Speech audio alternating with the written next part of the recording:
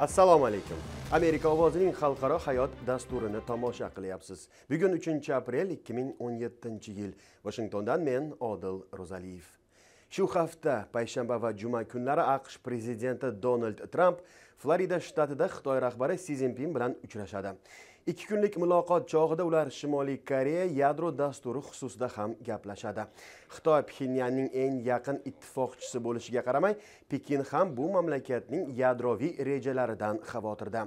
Shimoliy koreya ballistik raketa va yadro salohiyatini oshirish ustida ishlarkan bmt xavfsizlik kengashi sanksiyalari va xitoy talablari kor qilmayapti. Trampning aytishicha agar pekin pxenyan masalasini hal qilmasa aqsh bu ishga o'zi qo'l uradi. Xitoyning shimoliy koreyaga ta'siri katta va u bizga bu ishda yordam berishi lozim. Aks holda chorasini o'zimiz ko'ramiz dedi tramp angliyaning financial times gazetasiga bergan intervyusida. Aqsh mutaxassislarining ogohlantirishicha shimoliy koreya oltinchi yadro sinoviga hozirlanmoqda.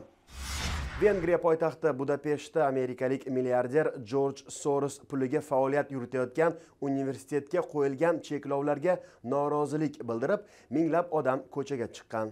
Bosh vazir viktor orban mamlakatdagi xorijiy universitetlar faoliyatini cheklashga qaror qilgan.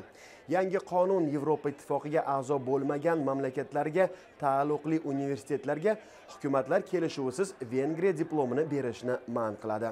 1991 yilda soros tomonidan ochilgan markaziy yevropa universiteti ma'muriyatiga ko'ra qonun bu o'quv yurtini yopishga qaratilgan. Ammo hukumat bu da'volarni rad etyapti.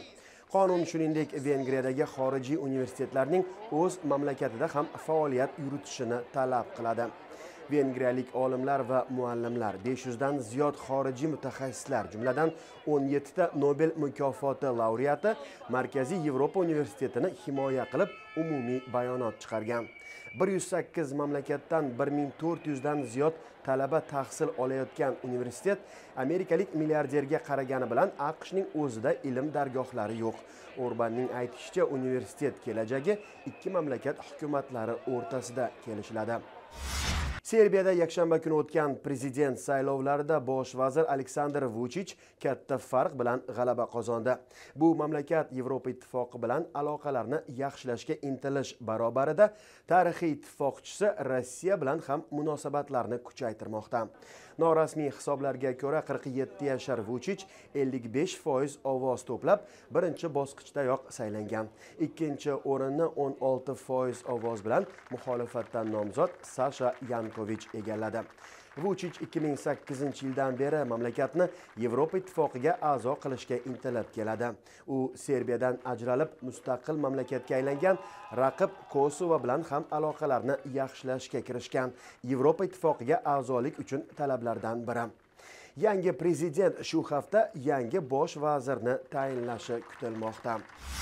Kolumbiyaning mokoa shahrida toshqinlar va yer ko'chishi oqibatida kamida 254 odam nobud bo'lgan.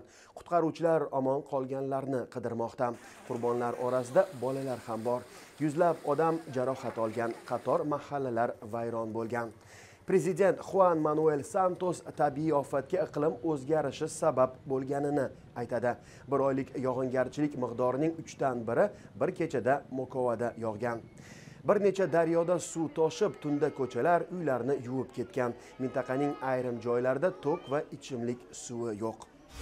Taniqli sovet va rus shoiri yevgeniy yevtushenko aqshning oklahoma shtatida 84 yoshda vafot etdi 1960 yillarda ijodini boshlagan shoir juma kuni kasalxonaga joylashtirilib shanba kuni jon berdi uning rafiqasi va ikki o'g'li yonida bo'lgan yevtushenko shu yili ayrim sobiq sovet mamlakatlarida gastrollarga chiqishni rejalagan edi u 1961 yilda babi yar she'rini yozib natsistlar germaniyasining kiyevda yahudiylarga qarshi qatlomini ta'riflagan.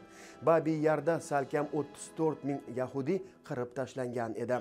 Shoirning 1962 yilda chop etilgan stalinning vorislari she'rida esa stalinizm va sovet byurokratiyasi tanqidga olingan.